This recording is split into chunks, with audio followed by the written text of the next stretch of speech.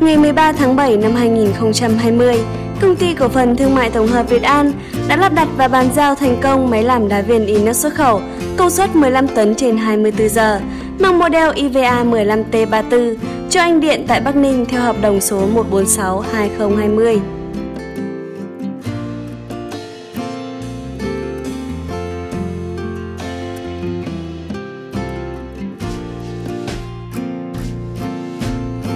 Với đất nước có khí hậu nhiệt đới như Việt Nam, quanh năm con người đều có nhu cầu sử dụng nước đá viên. Cao điểm nhất là vào mùa hè, các xưởng và nhà máy làm nước đá viên đều hoạt động hết công suất.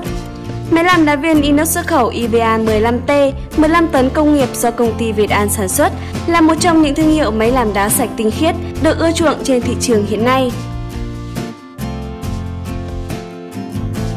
Nổi tiếng với công nghệ nhập khẩu và sản xuất đá tinh khiết đạt chất lượng cao, cùng mức giá hợp lý trên thị trường. Máy làm đá viên EVA 15T của Việt An được sản xuất theo công nghệ mới của Hoa Kỳ, với hầu hết các linh kiện chính được sử dụng là mới hoàn toàn, không sử dụng các thiết bị cũ kém chất lượng, đạt tiêu chuẩn chất lượng quốc tế ISO 9001-2015.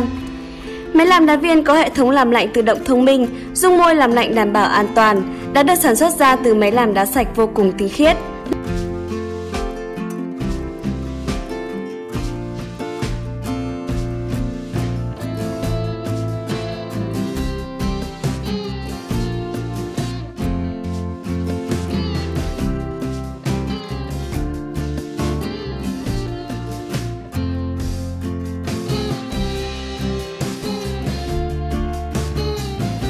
Sau khi bàn giao hệ thống, anh Điện đã bày tỏ sự hài lòng của mình về chất lượng của sản phẩm cũng như tinh thần trách nhiệm của đội ngũ nhân viên, kỹ thuật viên Việt An.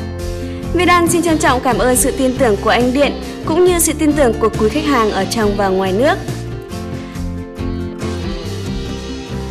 Với gần 20 năm xây dựng và phát triển, công ty cổ phần thương mại tổng hợp Việt An tự hào là doanh nghiệp tại Việt Nam về sản xuất, nhập khẩu, phân phối dây chuyền lọc nước, máy chiết rót, máy thổi vỏ chai, vỏ bình, máy làm đá viên.